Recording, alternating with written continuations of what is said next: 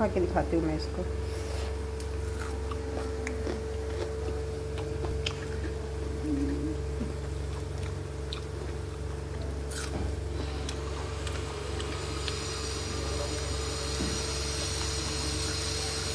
कान बिल्ली बहुत ही टेस्टी पकौड़ी बनी है।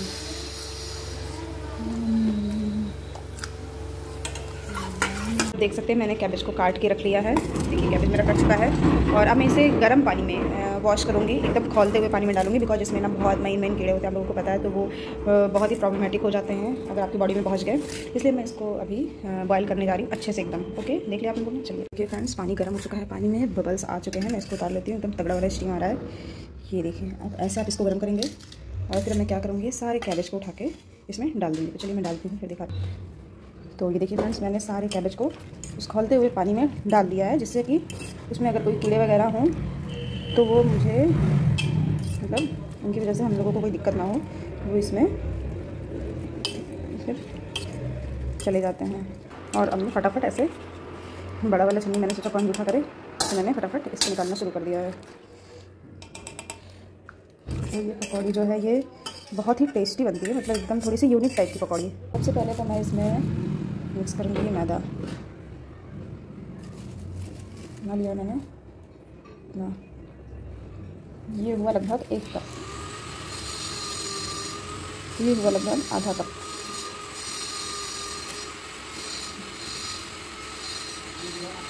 और जो लिया मैंने थोड़ा सा भी इतना सा बेसन. जो थर्ड चीज़ होगी वो कॉर्नफ्लोर होगी, जो मैंने बहुत ही ज़रा सा लिया है. एक छोटा चम्मच. बस इसको थोड़ा सा क्रिस्पी बनाना। तो इससे क्या होगा? थोड़ा सा क्रिस्पी हो जाएगा। बाकी मैं आपको मसाले दिखाती हूँ। तो ये हैं हमारे मसाले। ये जीरा, धनिया सब भुना हुआ है।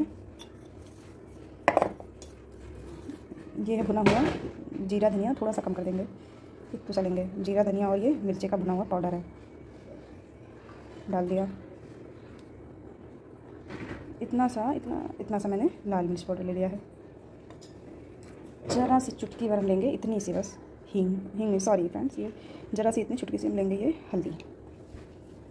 और मेरी एक आदत है हींग, जो कि ज़रा सा ही डालूँगी, पर मैं हर चीज़ में डाल दूँगी। तो मैंने ये इतना सा हींग ले लिया है। हींग मुझे हर चीज़ में पसंद है। सो ये मेरा इंग्रेडिएंट्स जो है, ये अब मुझे मिक्स करना है, बस। तो चलिए, फिर मैं आपको दिखाती हूँ इसको। और एक मिनट हरी मिर्च भी डालनी है। तो मैंने ये चार हरी मिर्च लिए हैं, जो कि मैं इसमें डालूँगी। तो मैं डाल के दिखाती हूँ। तो मैंने चार लिए थे, बट मैंने एक छोड़ लिया और तीन काट लिया, क्योंकि मुझे थोड़ा सा ज़्यादा लग रहा था इसको चलते हैं मिलाने। पहले हम इसमें पानी नहीं डालेंगे। पहले हम इसमें, क्योंकि ये जो कैबेज है, ये ऑलरेडी थोड़ा गीला ही होता है। पहले देख लेंगे कि इसमें कितने पानी की ज़रूरत है। उसके बाद उस हिसाब से हम इसमें थोड़ा सा पानी ऐड कर देंगे। अगर आप इसमें पहले पानी डाल देंगे तो ये गीला हो सकता है। फिर क्या है, आपकी पकौड़ी अच्छी नहीं बनेगी, जो बैटर है वो ख़राब हो जाएगा। उसमें आपको और बहुत सारे, फिर सारी चीज़ें ऐड करनी पड़ेंगी।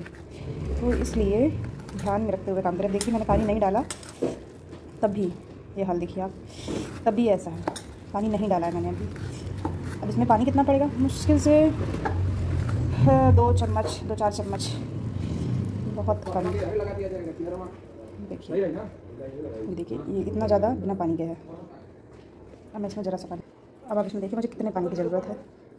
मुश्किल से मैंने इतना पानी लिया है। मैं देख लेती हूँ बटर गीला हो जा रहा है। या फिर थोड़ा सा और पड़ेगा थोड़ा सा इसमें और पानी की ज़रूरत है। चलिए। बस मुझे लगता है इनफ इज़ इनफ बस आपका जो बैटर है वो मस्त एकदम बन के। रेडी है ये देखिए। अब आप इसको भजिया कहें जो कहें आपकी जो भजिया होती है मुंबई स्टाइल वो भी ऐसी ही बनती है। देख रहे कितना बढ़िया बैटर बन के रेडी है पकौड़ी के लिए। तो बस मैं फटाफट से बनाते टाइम पे आपको दिखाती हूँ। सो so, मैंने तेल डाल दिया है कढ़ाई में और तेल जो है वो गर्म हो रही है बिल्कुल। फिर ये मेरा बैटर रेडी है। सो so, चलिए चलते हैं फिर। ज़रा सा डाल के हम टेस्ट करते हैं।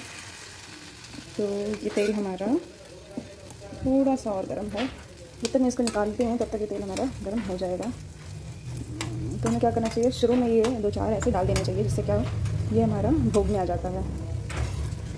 अन्नपूर्णा जी को। अन्नपूर्णा जी का भोग ज़रूर लगाना चाहिए। जो कि हमारे चूल्हे पे विराजमान होती हैं तो हम चूल्हे पे भोग लगा देते हैं। जय नमस्कार कर लेते हैं। चलिए, अब मैं डालती हूँ पकौड़ी और आप सबको दिखाती हूँ। ये देखिए, लाल गर्म पकौड़ी आज हम थोड़ा खाएँगे अनहेल्दी वैसे है तो इसमें भी ग्रीन लीव्स ही। पर ये हो गया है ऑयली सो ग्रीन लीव्स का मतलब नथिंग हो चुका है। तो मैं आपसे बातें भी कर ले रही हूँ और अपनी पकौड़ियाँ भी बना ले रही हूँ। गैस का फ्लेम जो है वो भी थोड़ा मीडियम किया था। पर मैंने हाई कर दिया है। मीडियम इसलिए किया था ताकि पहले वाली पकौड़ी जो है वो जले ना। सारी इवन फ्राई हो। मैं आप लोगों को इसे थोड़ा पलट के दिखाती हूँ। हाँ एक साथ। थोड़ी टूट गई। देखो कैसे मैंने एक साथ पलट दिया। फिर भी सारी पकौड़ियाँ अलग कर ली हैं। इससे पकौड़ियाँ जो है वो हर तरफ़ से सिक जाए, अच्छे से फ्राई हो जाए। ये सिक नहीं रही हैं फ्राई हो रही हैं। वो भी डीप फ्राई तो अभी जो मैंने कल वीडियो डाली थी, वो मैंने हेल्दी लाइफ स्टाइल की डाली थी, जो कि मेरा रोज़ का है। और जो आज मैं डालूँगी, वो अनहेल्दी मेरे फ्रेंड्स बोलेंगे, अभी कल ही हेल्दी लाइफ स्टाइल की वीडियो पड़ी और आज अनहेल्दी तो कोई बात नहीं, ऐसा कुछ नहीं है। हम लोग हेल्दी रोज़ खाते हैं, पर अनहेल्दी भी कभी कभी खा लेते हैं। तो आजकल मेरा अभी कहीं बाहर नहीं जाना हुआ है, और मैं कहीं बाहर जाऊँगी। तो मैं आपको लखनऊ के जो कुछ फ़ेमस प्लेसेस हैं, वो दिखाने वाली हूँ। तो अब चलिए मैं किस दिन लखनऊ के कुछ आपको फ़ेमस प्लेसेस दिखाऊँगी। बहुत सारे लोग हैं जो जानना चाहते हैं लखनऊ में, बहुत सारी चीज़ें देखना चाहते हैं। लखनऊ का अमीनाबाद बहुत ज़्यादा फ़ेमस है। तो मैं आपसे आज कुछ बातें कर ले रही हूँ जब तक मेरी पकौड़ी बन रही है। दोस्तों वीडियो बहुत छोटी होती है। तो चलिए मैं इसे अब निकाल लेती हूँ। ये देखिए मेरी गर्मा गर्म पकौड़ी जो है निकलने के लिए बिल्कुल ही रेडी हो चुकी है। ये देखिए पर थोड़ी सी ऑयली हो जाती है। अफसोस। पर एक दिन तो चलता है। निकाल लेते सो so, दूसरी पकौड़ी के लिए मैंने डाल दिया है। कढ़ाई मेरी इतनी जल चुकी है क्योंकि मेरा जो फ्लेम है बहुत ज़्यादा हाई है। फ्लेम को थोड़ा सा मीडियम लो जो है मेरी एक पकौड़ी बन के रेडी है। सो so, चलिए इसको खाने के लिए ले चलते हैं। हाँ मैं आपको इसे तोड़ के दिखाती हूँ। देखिएगा मैं आपको इसे तोड़ के दिखाती हूँ। थोड़ा सा मैं गैस पर रख देती हूँ। थोड़ा सा फिर खा के दिखाती हूँ मैं इसको।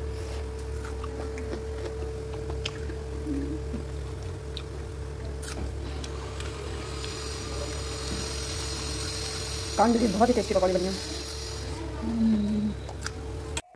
सो फ्रेंड्स बताइएगा मेरी रेसिपी आपको कैसी लगी? एंड अगर अच्छी लगी है तो प्लीज़ मेरी वीडियो को शेयर एंड लाइक ज़रूर करिएगा। अगर नए हैं तो मेरे चैनल पे सब्सक्राइब करके ही जाइएगा। Bye bye take care guys तब तक के लिए मिलते हैं अपनी नेक्स्ट वीडियो में। एंड अगर कोई क्वेरी होगी तो मैं लास्ट में कह दे रही हूँ, ज़रूर पूछ लीजिएगा।